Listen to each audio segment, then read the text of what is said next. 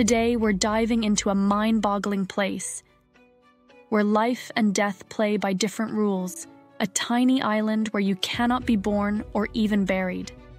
Let's unravel this peculiar mystery.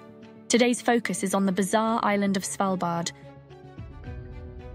located in the Arctic Ocean. It's home to around 2,500 residents from over 50 countries. But here's the surprise. This Arctic settlement has banned births and burials. Why, you ask? Let's start with its freezing temperatures. Svalbard averages minus 16 degrees in winter, and the ground stays permanently frozen, a condition known as permafrost. The cold makes it impossible for bodies to decompose naturally. In fact, researchers discovered that bodies buried over 70 years ago still hadn't decomposed properly.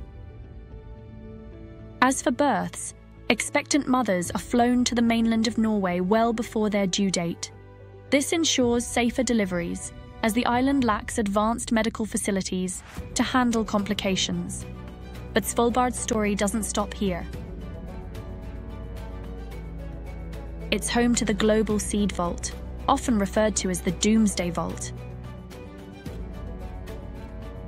Opened in 2008, this secure facility stores over 1 million seed samples from almost every country in the world, safeguarding our agricultural future against potential disasters.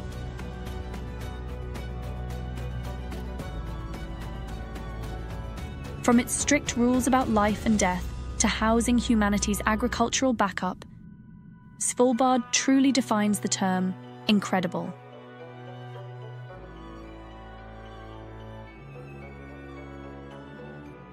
Make sure to like, subscribe, and stay tuned for more amazing content.